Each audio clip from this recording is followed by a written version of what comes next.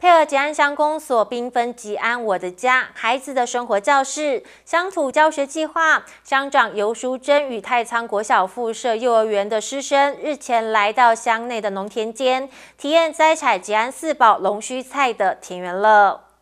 太仓妇幼以乡土教学计划社区趴趴走，让孩子亲自走进社区，加深对家乡文化和物产的认识。幼儿园主任李玉如感谢乡公所的用心，积极推动幼儿乡土教案研发，也给予经费上的大力益助。好，首先要感谢吉安乡公所，他们为我们幼儿园哈争取了许多的呃关于乡土认识吉安乡乡土文化的这些教材，那他给我们很多的经费。支持我们呃花莲吉安乡的公司的幼儿园。那龙须菜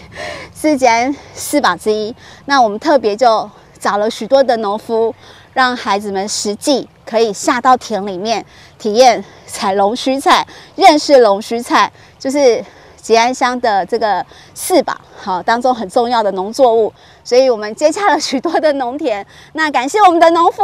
张小姐。他真的是非常非常愿意支持我们，谢谢他哈，真的很感谢他愿意让我们体验采这个龙须菜。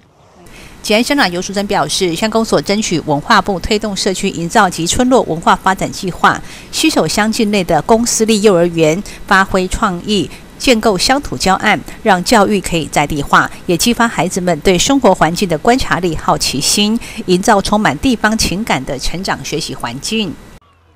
吉安乡土文化向下扎根，来田园认识吉安四宝，享受着太阳跟芬芳的绿草的味道。我们相信孩子来亲手摘龙须菜，知道农民的辛劳，享受的烈日艳阳，体会到农民的这样的一个努力。希望未来开启的是。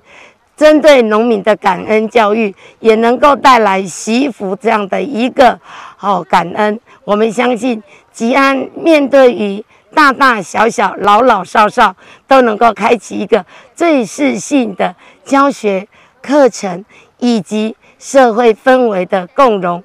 在老师引导之下，小朋友们穿梭在田间摘采着龙须菜。虽然技术不成熟，但是采在农田当中，感受阳光的热度，也让孩子们能够体悟到农夫的辛苦，更要懂得珍惜食物，感谢大地赐予的恩典。这里会转向报道。